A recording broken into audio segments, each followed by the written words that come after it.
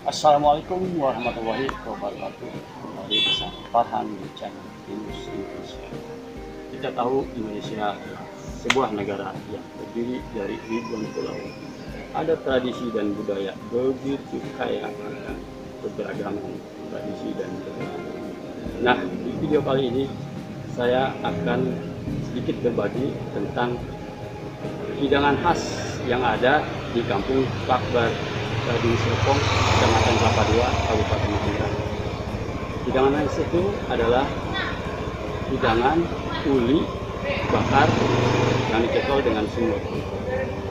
Mungkin teman-teman uh, belum pernah merasakan uh, hidangan itu dan nanti boleh dicoba uh, bagaimana rasanya. Oke, kita ikuti. Oke sob, bahan-bahannya adalah uli nanti yang akan kita bakar ini ulinya. Dan nah ini dia. Ini adalah semur daging sapi. Jam oke. Untuk proses selanjutnya yaitu uli kita buka dan kita potong melintang ya. Dipotong melintang ulinya masih masih umur satu hari nih jadi masih lembut banget ya.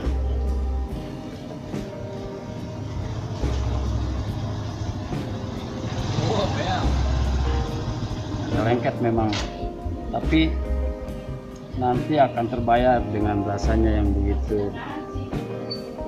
Eksotis kalau sobat-sobat belum pernah merasakan apa e, rasanya uli dicocol dengan semur nanti pas acara Idul Fitri di rumah boleh sobat-sobat coba dan nikmatin rasanya.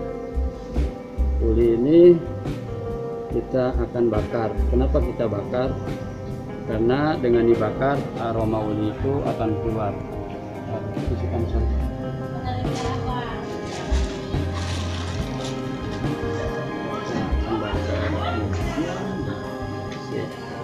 aja. Jadi tusuk nanti kita akan bakar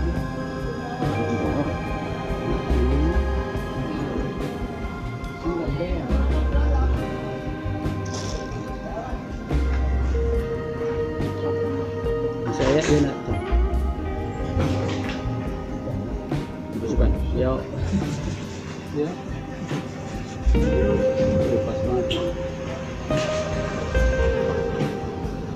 kita bikin berapa nih?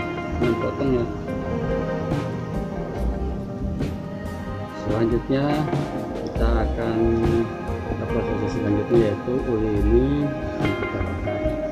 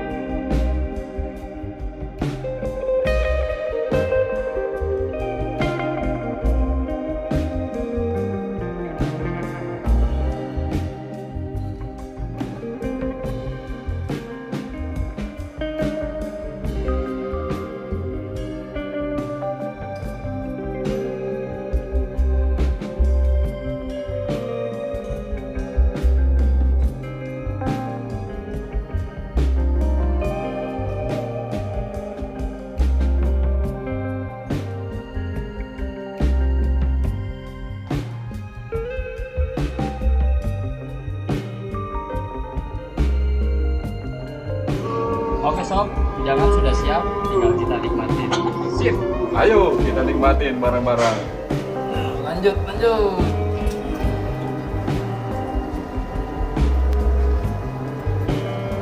Hmm, hmm, mantap.